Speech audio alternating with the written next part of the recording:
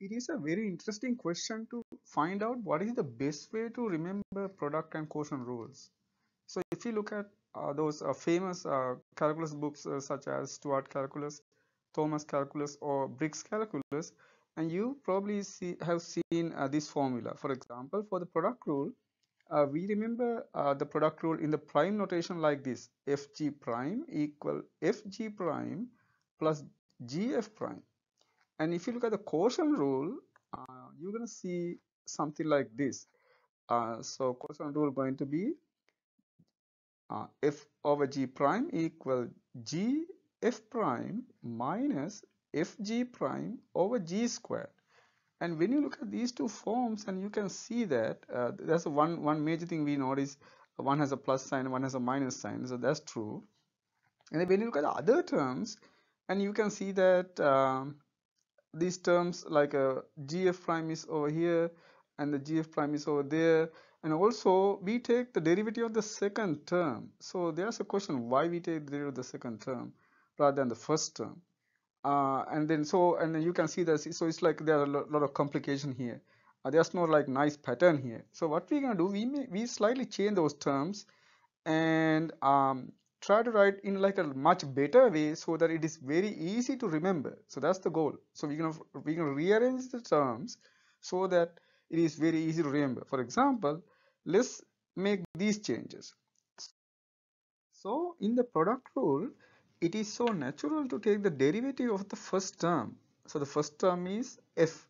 So that means we can write this formula as f prime g and then g prime f so you can see uh, it is it is very natural when you have product you take the derivative of the first term. And then we write it like that uh, switching the terms. And also you may wonder why there is a, a plus sign here.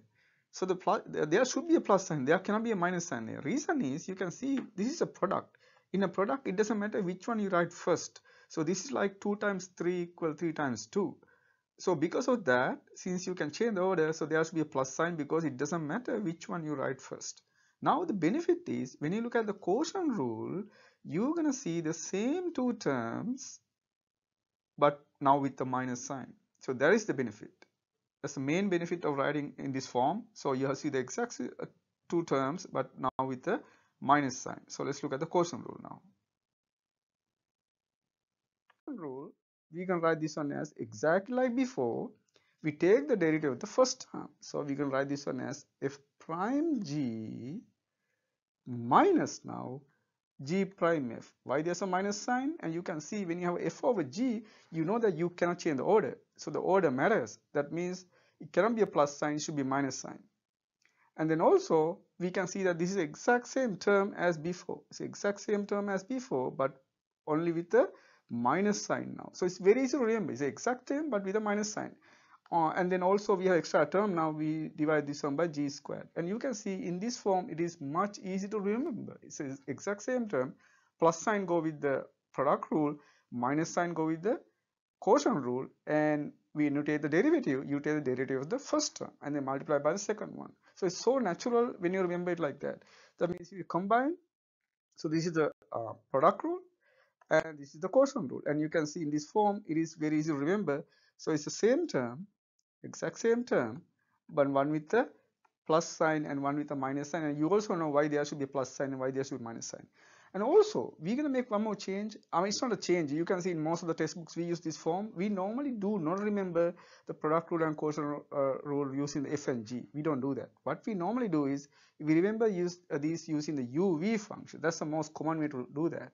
And it also uh, makes sense because when you learn more math and we use what they call the um, uh, chain rule, uh, the uh, integration by parts formula, when you use the integration by parts formula, it is very easy to remember UV form because that's what we use. So using the UV form, we can write this one as UV prime equal, take the derivative of the first one, multiply by the other one, and then switch the order. So V prime U. Again, for the quotient rule, it is U over V prime. So you can write this one as again take the derivative of the first one, multiply by the second one, and then minus sign v prime u over v squared. So you can see if in this form it is very very easy to remember those two formulas and this is the easiest way to remember the product and the quotient rule so uh, let's put everything in uh, in one so for example the first one is the product rule and you can see that we use a uh, plus sign for the product rule and the second one is the quotient rule and we can see that we use a minus sign for that. So this is how we remember the product and the quotient rules. Thank you